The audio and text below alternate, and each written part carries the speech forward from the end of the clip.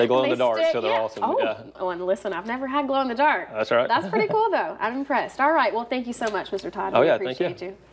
All right, guys, and let's go to Eric for a look at what he's covering in his full forecast. Eric?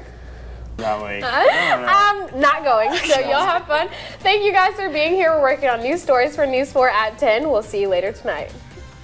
Tennis superstar and new mom Serena Williams has made another mark in the fashion industry. And WTVY's Brian Roche has the story of some Troy students and their families as another year begins.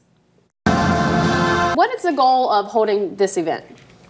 You wanna- I'll, I'll do it. You, you, you, whichever.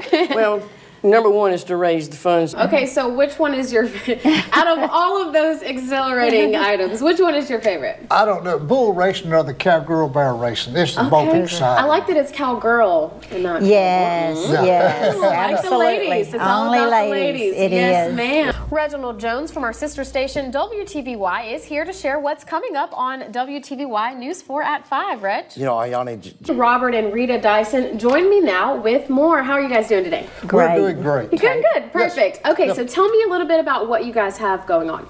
Big up and coming comedian Tiffany Haddish made a stunning entrance to the red carpet. Take a look at this. Queen Haddish wore a stunning gown to the Oscars. It's called Azuria. Not looking too bad to end our Sunday night, but what about our upcoming work week? Meteorologist Brooke Richardson joins us live from our Weather Center to let us know. Brooke? And those are your trending topics for today. Thanks for watching the Lenise Lens.